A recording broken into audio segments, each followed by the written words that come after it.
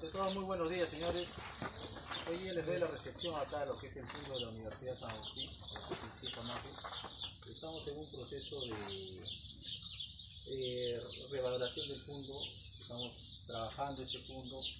Bueno, ya muchos de ustedes habrán ingresado antiguamente, estamos en un proceso de reconversión y un proceso de llegar a ustedes, ¿no? Los agricultores. Por eso que ustedes han sido los principales invitados aquí.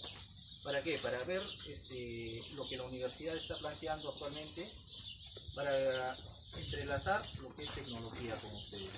Y justamente el resultado actualmente de nuestra nueva, la nueva que se ha realizado es como podrán ver en nuestra parte de atrás lo que son los cabezales y lo que es el cultivo que tenemos actualmente, ¿no? Y para que ustedes puedan apreciar lo que la universidad está desarrollando tecnológicamente para ustedes actualmente, Y transferirles ese conocimiento y hacerles llegar a ustedes.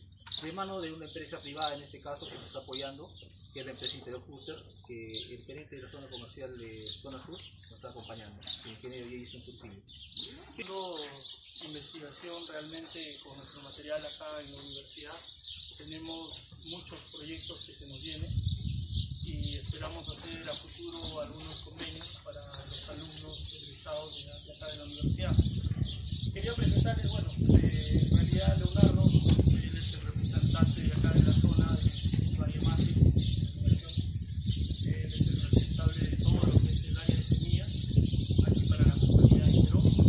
Eh, y bueno, la parte de hoy para presentar Vamos a hacer transferencias y experiencias básicamente.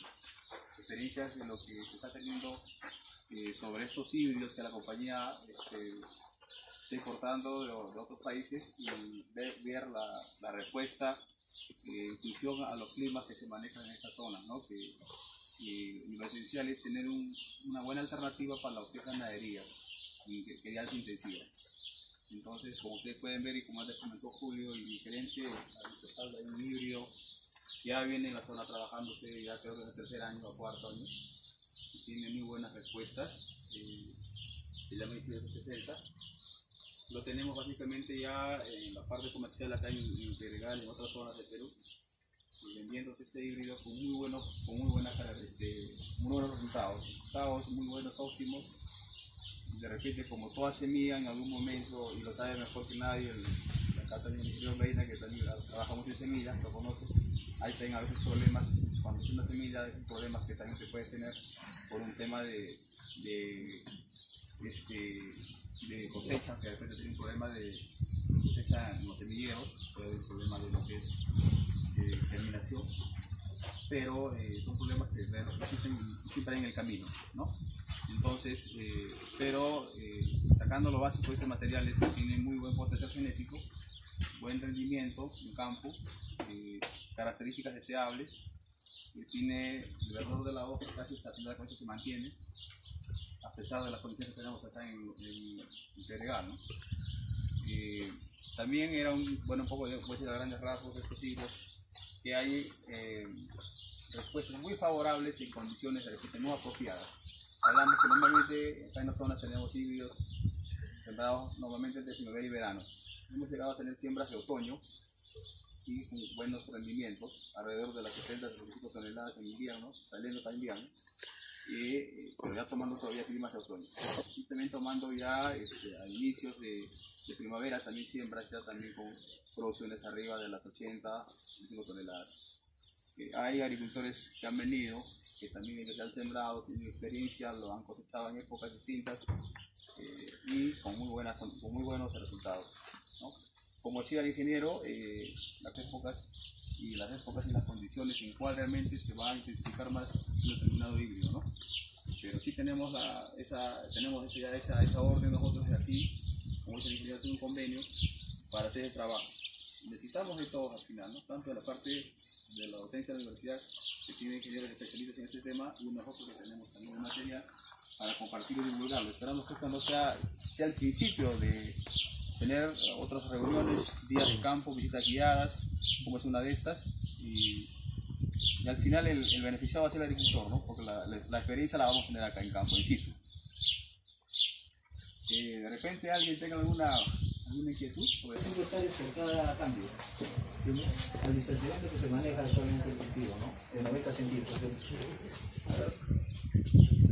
Hacemos. ¿Alguna pregunta sobre el tema? De repente antes que se vayan. Miguel, tú.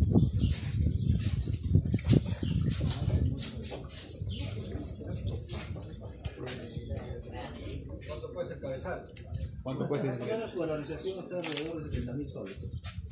Todo el equipo. Todo el equipo, instalación, todo. ¿Este es el nacional? Sí, es nacional. ¿Quién fabrica? Esa es la base. Y es de acá, de ese lugar. ¿Es de acá? Sí, sí. Sí, Avenida Pedregal. De niños no tiene, ¿no? No, es que también hemos tratado de utilizar lo que había actualmente este, instalado, ¿no? Contábamos con estos filtros ya adquiridos y teníamos que utilizarlos. Claro. Lo que hay que aclarar acá es, bueno, hay un concepto bien claro en cuanto a muchos agricultores, yo escucho hablar, hay, algún- hay un tema acá, ¿no? En lo que es los filtros de grado. Eh, normalmente este, metemos una grava que yo he visto que es gruesa, ¿no? De, un octavo o algo así, ¿no? Eh, eso es un poco erróneo, ¿no? Lo que tenemos que utilizar generalmente, lo que es más sencillo de lavar, son los, los filtros de grava, ¿no?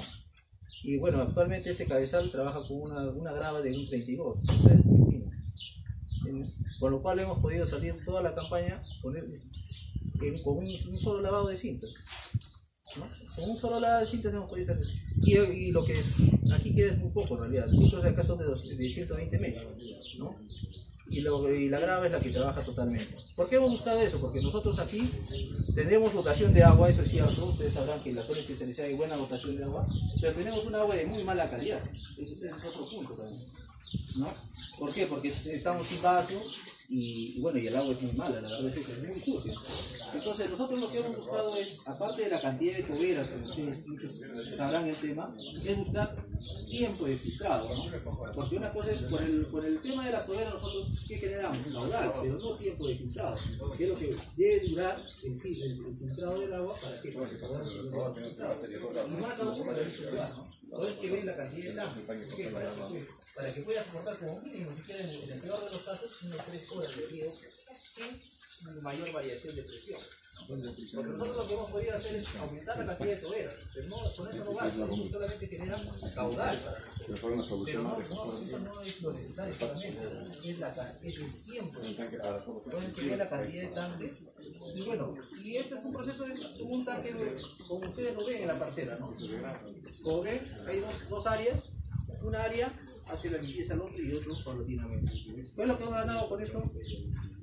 Los hidrociclones. Bueno, eso es por el área que tenemos acá, ¿no? Eh, Por el agua que tenemos aquí. El agua que tenemos aquí este, es, este, es muy mala, tiene bastante arena. Por eso hemos tenido que utilizar hidrociclones. Tal vez ustedes en el área donde, donde tienen vaso no los necesiten, la verdad es eso. ¿no? Y esas van en paralelo, ¿no? Totalmente. ¿No?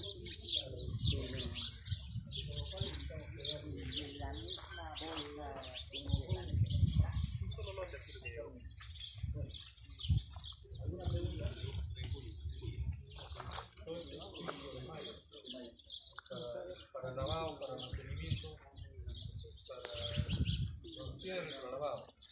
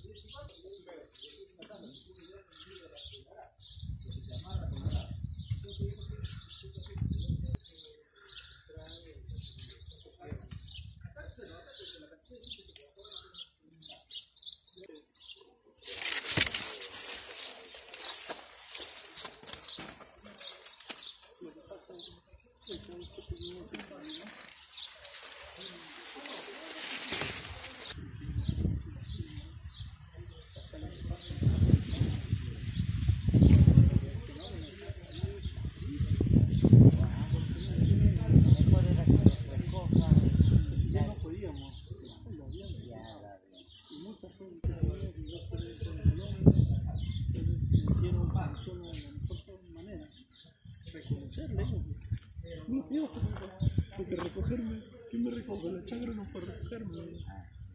Entonces, este. Bueno, nos encontramos ahora con el ingeniero Julio Flores, quien está encargado del fondo de la Universidad Nacional de San Agustín. Ingeniero, muy buenos días. Hoy día se ha desarrollado un día de campo aquí en la universidad con la empresa Interoc y por supuesto también promocionando lo que este es este producto, eh, el producto del maíz híbrido, el Insignia 860. Eh, para que nos detalle un poco de lo que se haya realizado el día de hoy. Bueno, lo que se ha realizado actualmente es este, el desarrollo y la exposición de todo lo que es eh, lo que se ha realizado para la obtención de este maíz híbrido en tiempo de invierno, con lo- con- mejorando la tecnología de distanciamiento y lo que es lo que trabajó en fertilización. ¿no? Esto es- nos está dando eh, el dar el alcance de esto a los agricultores ¿no? y a los estudiantes para qué, para que ellos puedan ver y mejorar sus técnicas de siembra y de cultivo ¿no? de, este, de estas variedades en tiempo de invierno. ¿Este maíz híbrido 860 también se cultiva en la época de verano? Sí, es, es cultivable también en época de verano, eh, igual que en invierno. ¿no? Eh, eh, ah, viendo el tema de la producción en vera- entre verano y invierno, lo que ahora ustedes están viendo, eh, ¿hay alguna diferencia? ¿Hay una cantidad mayor o menor de- en, en lo que es productividad? Justamente eso es lo que estamos tratando de ver, ¿no? Hacer la comparativa. Ahorita hemos hecho una siembra en invierno, ¿no? Para ver cuántas toneladas por hectárea va a obtener y ver la comparación en verano. Pero hasta ahorita lo hemos visto muy bien en comparación con otros campos y vemos que la diferencia va a ser mínima. ¿no? Bueno, en este campo que usted ha detallado dice que es primera vez que siembra maíz y por lo que hemos podido observar, hemos podido observar un buen tallo de la planta y así, asimismo también este, en algunos casos dos hasta tres mazorcas eh, que podrían verse en cada planta. Sí, justamente eso sí del alcance por un tema de dis- distanciamiento y fertilización que se ha realizado ¿no? Eh, en el tratamiento de este, de este maíz. ¿no? Y eso es justamente lo que queríamos mostrar a- a- al, al público en general, ya sea agricultores y, y estudiantes, ¿no? que mejorando el distanciamiento podemos mejorar bastante y, y obtener las dos cosas, como decía, calidad y cantidad. ¿Cuál es la diferencia entre distanciamiento de riego en la época de verano a una época de invierno? Bueno, lo que nosotros estamos sugiriendo es que no haya mucho distanciamiento, ¿no? El tema es que manejar una sola, un solo distanciamiento que es a 90 centímetros mayor a lo que lo- los agricultores comunes y corrientes trabajan y, y obtener la lu- luminosidad y obtener eh, la cantidad de choclo necesaria y no afectar justamente la cantidad de producción que se va a dar. Algunas plagas que han venido afectando en este cultivo, hongos. Eh, bueno, la- las plagas son las típicas, ¿no? Ya sea uno, este, caballada, eh, distintos tipos de gusano, eh, se, ha, se ha aplicado contra lo que es trips y mosca blanca, ¿no? Bueno, es algo que es algo se, se ha manejado bajo, bajo un plan ya establecido de aplicación de agroquímicos y un tratamiento de semillas. ¿Cómo se benefician los estudiantes de la Universidad Nacional de San Agustín al, venar- al venir aquí a realizar pues sus prácticas técnicas del día de campo? Bueno, se benefician mucho, ¿no? Porque ven este lo que es un es un buen trabajo en lo que es este la obtención de maíz híbrido, ¿no? Eh, pueden analizar lo que es, este, pueden hacer distintos análisis como establecimiento de, de cuántas toneladas por hectárea va, va- va- a ser, eh, lo que es este eh, análisis de fosfosintatos, este, lo que es este eh, cantidad de mazorcas por planta y bueno, distintos análisis que ellos convendrán con sus profesores, ¿no? En campo. Este es un convenio que ustedes realizan con la empresa Interroc. Sí, bueno, eh, hemos realizado un convenio para lo que es la elaboración de este maíz, ¿no? El trabajo de este maíz y, y los resultados que se va a dar. Posteriormente se va a trabajar con otras empresas más y determinar, ¿no? A cada uno de los agricultores, como dije, qué variedades podemos trabajar en, en distintas épocas de, de- de- de- del año, ¿no? Ya sea en invierno o en verano, ¿no? Y ellos puedan ver y, y- y darles ese alcance. A, a- a la- a los agricultores en general. Bueno, solamente se va a realizar este estudios en lo que es tema de cultivo de maíz o también va a haber otro tipo de cultivos. Pensamos extendernos a lo que son hortalizas también. Y luego, posteriormente, implantar ya lo que son estaciones experimentales para tratar ya bajo cultivo de casamalla y distintos cultivos. En pequeñas áreas, ¿no? Finalmente, la recomendación para el agricultor eh, en caso quiera incursionar en sembrar esta, eh, este maíz híbrido en su, en su campo. Bueno, en primer lugar, ver los resultados que se están dando en la zona, bueno, tanto acá como en la universidad y en otros lugares, para poder manejar un cultivo idóneo, ¿no? Para obtener buenos resultados y, y elegir una semilla adecuada para su momento. Muchas gracias, ingeniero. Listo.